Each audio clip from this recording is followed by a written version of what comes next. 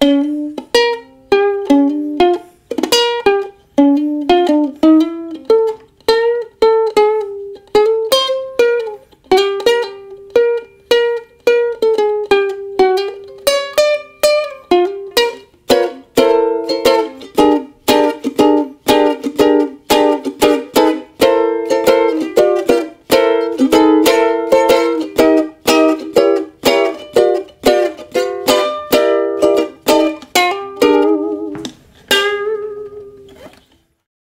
Yay! Ja, ich mache mir gar nicht mehr die Mühe, das Ding zu stimmen. Ja, das ist äh, so fertig, die Seiden. Und ich kriege ganz viele Fragen zum Thema Seiden. Wie ist denn das? Wann sind die fertig? Wie wechselt man die? Was nehme ich für Seiden? Ja, fangen wir vorne an. Die Seiten sind fertig, wenn man ähm, unter die Seiten fasst und ganz deutlich die Abdrücke von den Bünden spürt. Ja, dann sind die auf jeden Fall fertig. Dieses gute Stück hier, das alter Falter, die müssen runter. So, was brauchen wir? Wir brauchen neue Seiten und ich möchte die Gelegenheit nutzen, einfach mal diese Dinger hier auszuprobieren. Die haben mir die Hasen von Ug Supply geschickt und ähm, die sind pink. Yeah.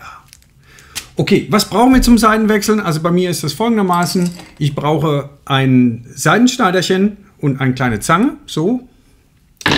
Und dann brauche ich noch was zum Saubermachen.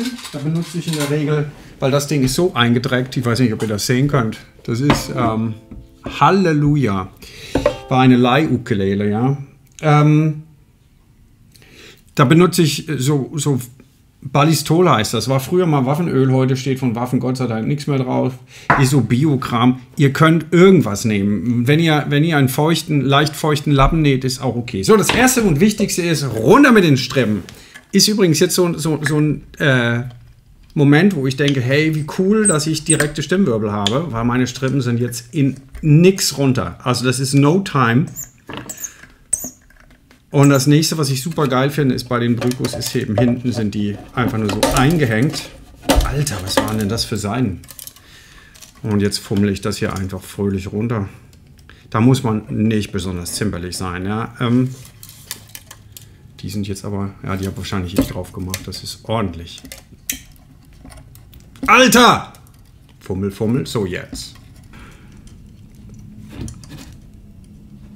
Na? Als ob es so einfach wäre, ne? So. Ja, äh.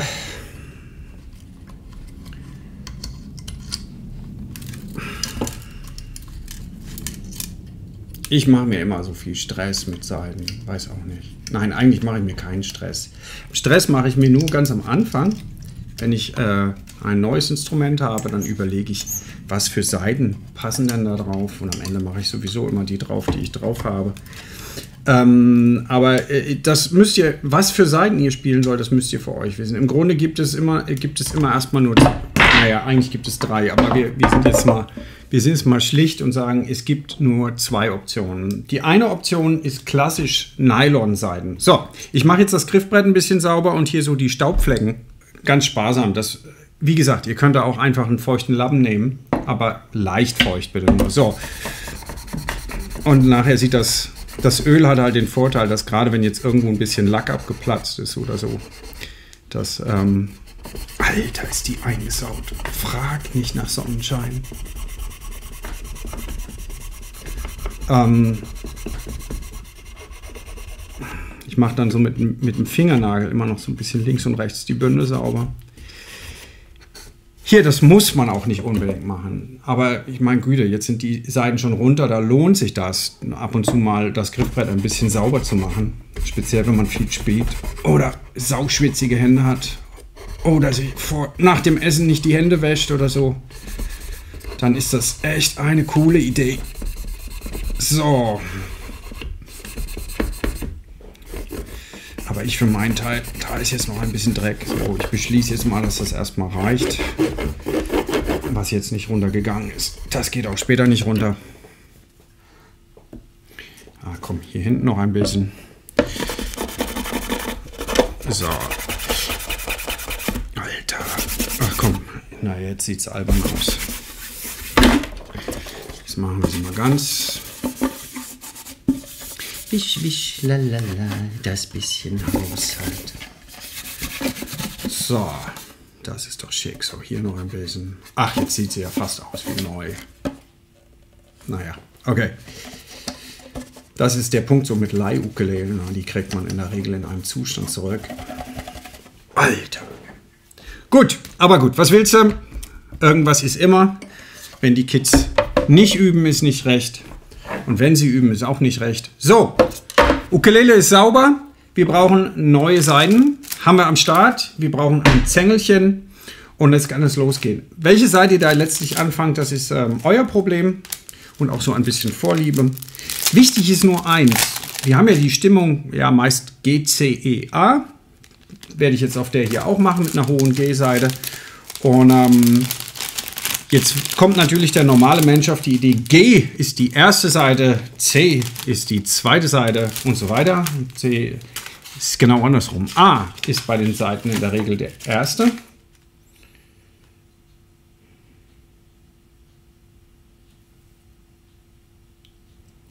Ja, A ist die erste.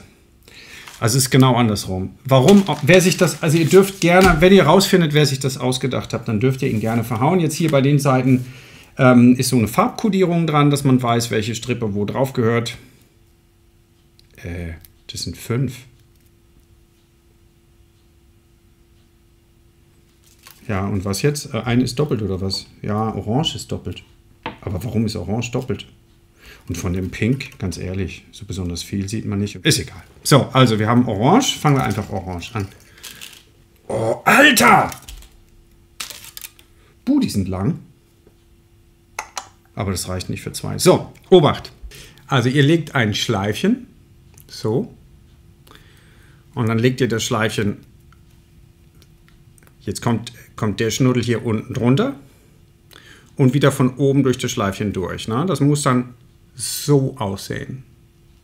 Astreine 8 Knoten, ja? Und ähm, dann zieht ihr den zu.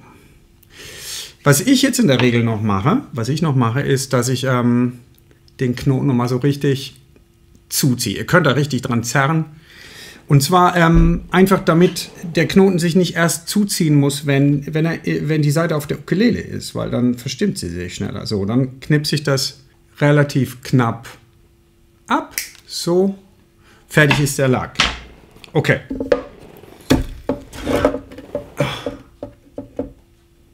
Ein, leg sie so grob hin. Und jetzt kommt der, der knifflige Teil. Also die Seite kommt einmal durch das Loch.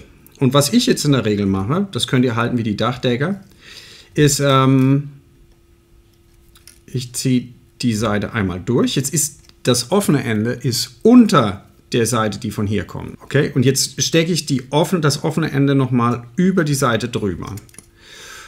Und so wie ich das jetzt gemacht habe, ist die Seite ziemlich straff. Ja, ich muss jetzt nicht mehr viel drehen, damit die Seite irgendwie aufgedreht ist. Das ist im Grunde ganz gut für so eine normale Ukulele. Jetzt ist das bei den Brüco-Ukulelen leider ein bisschen speziell, weil die haben so einen geringen Halswinkel. Na, das seht ihr hier. Und ähm, durch diesen Hals, äh, geringen Halswinkel ist wenig Druck auf dem Sattel hier. Und ähm, wenn die Seite jetzt zu weit oben sitzt auf dem Stimmwirbel, dann hat sie nicht genug Auflagefläche und schnarrt so blöd. Gott sei Dank ist es recht leicht zu lösen. Und zwar ist es dadurch zu lösen, dass ihr die Seite, ich drehe es nochmal ein bisschen auf, dass ihr die Seite relativ lang lasst am Anfang. Und dann kann ich sie nämlich relativ tief wickeln und dann hat sie ordentlich Auflagefläche. Wichtig ist auf jeden Fall, egal was für eine Ukulele ihr habt, dass ihr die Seite nach unten aufwickelt. Also wenn ihr den Stimmwirbel so habt, dass die Seite nach unten, ich mache das in der Regel, dass ich den, den Finger so drauflege beim rein raufspulen. Und auch hier übrigens großer Vorteil von den direkten Stimmwirbel, ich drehe jetzt einfach die Seite hoch. So, die ist jetzt drauf. Wenn ihr eben keine Brüco habt, dann könnt ihr die ganz kurz einspannen. Ich habe jetzt da so ein paar Windungen drauf. Das mit dem Kurzeinspannen hat einen Sinn, denn je kürzer die Seite da drauf ist, desto weniger Seite muss ich nachher dehnen. Ja, und dehnen heißt immer, ähm, die Ukulele ist nicht so schnell stimmstabil. Das könnt ihr machen, wie ihr wollt. Wenn das so irgendwie... Manche wollen, dass das ganz weg ist, manche finden es total cool, das dann aufzuwickeln. Ja, ich lasse das immer so 3, 4 Millimeter überstehen. So. Und dann geben wir dem mal so ein bisschen Vorstimmung. Jetzt muss ich den Scheiß noch viermal machen. Das zweite ist gelb. Na, für mich ist das ja jetzt hier orange, aber das andere ist oranger als das Orange hier. Deswegen wird das wohl gelb sein. Machen wir nochmal das Knötchen. Seht ihr, ne? Also eine Schleife legen. Schleife legen. Der ist oben, der kommt jetzt unten durch und von oben wieder rein. Ist eigentlich, wenn man den, den Knoten 20 Mal gemacht hat, ist es überhaupt kein Problem, dass man so einen schicken 8 Knoten hinbekommt. Und dann zieht ihr den zu. Auch hier, ihr merkt, der zieht sich sofort wieder so ein kleines Stückchen auf, wenn ich den loslasse. Deswegen ähm, packe ich den mit der Zange und ziehe den einmal ordentlich zu. Dann habe ich meine Ruhe. Den knipse ich gleich ein bisschen ab hinten. Auch hier so 3 mm überstehen lassen. Und dann kann man den hier einhängen. Hoppla. So, hier dasselbe nochmal in den einlegen. Die Seite stecke ich jetzt von oben einmal durch. Das offene Ende liegt unter der, der Seite. Und jetzt stecke ich die Seite nochmal zurück. So, jetzt. Und jetzt, das war es auch schon. Einfach aufdrehen. Finger drauf, aufspulen. Fertig ist der Lack. Ja, zweite Seite. Bisschen abkneifen. So, dritte Seite. Was wollen wir da? Purple. Na, also von Pink sieht man hier jetzt echt nicht so viel. Purple, Purple. Was könnte Purple sein? Das letzte ist Pink.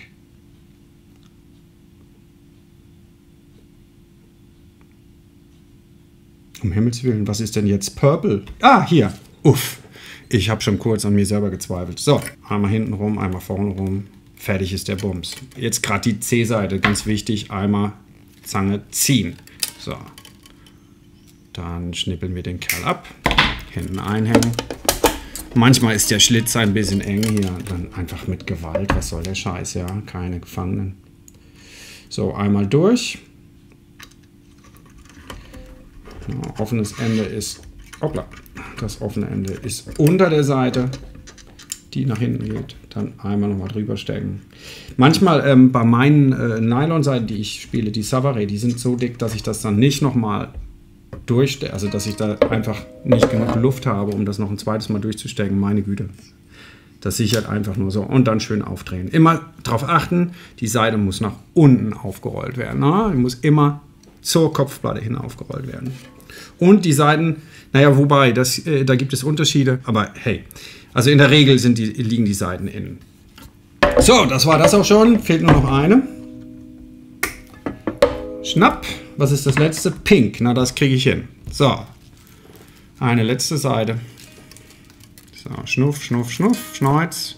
Mal gucken, ohne groß reden.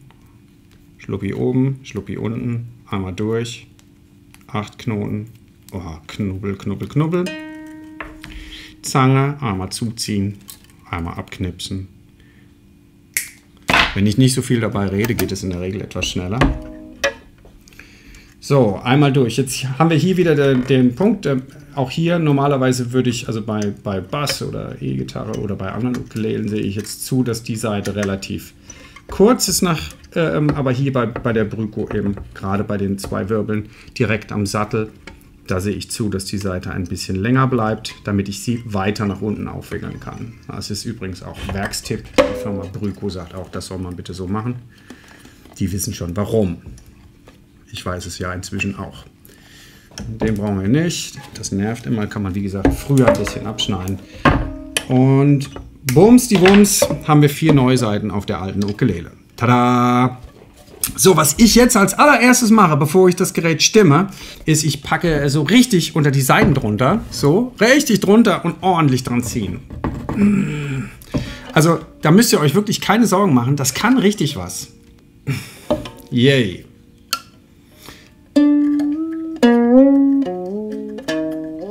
Ah, da muss aber noch ein bisschen.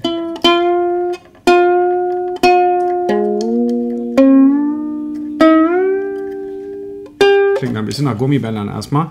So, nochmal ziehen. Ordentlich ziehen. Die Fluorcarbonseiten, die brauchen in der Regel nicht so lange, um sich zu setzen, aber ist auch nur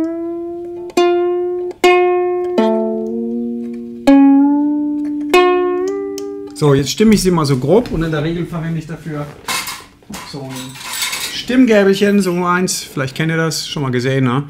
Und das Stimmgäbelchen, ähm, das haue ich einfach auf den Tisch. Das ist unser A.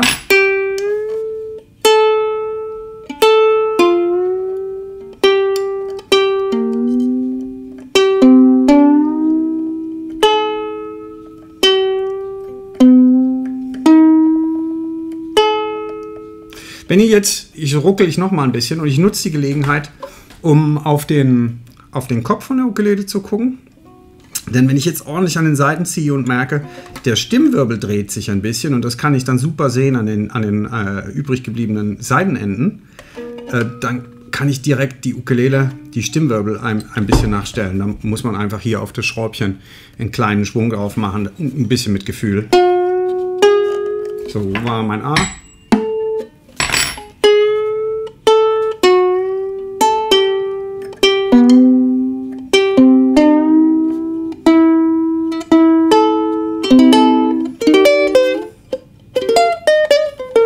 So, das war das eigentlich auch schon. Ähm, alte Ukulele, neue Seiten. Ich gebe ganz offen zu, dass die pink sind, sieht man jetzt nicht so. Wenn man es weiß. Manchmal machen die Sachen am meisten Spaß, die nur man selber weiß. Aber ich hätte schon so gern so quietschpink. Das wäre schon irgendwie geil gewesen. So neonpink, wisst ihr so. Egal. Ich werde jetzt noch ein bisschen an den Seiten zuppeln, bis sie sich gesetzt haben und dann spiele ich euch ein und dann könnt ihr selber sagen, ja? Gut.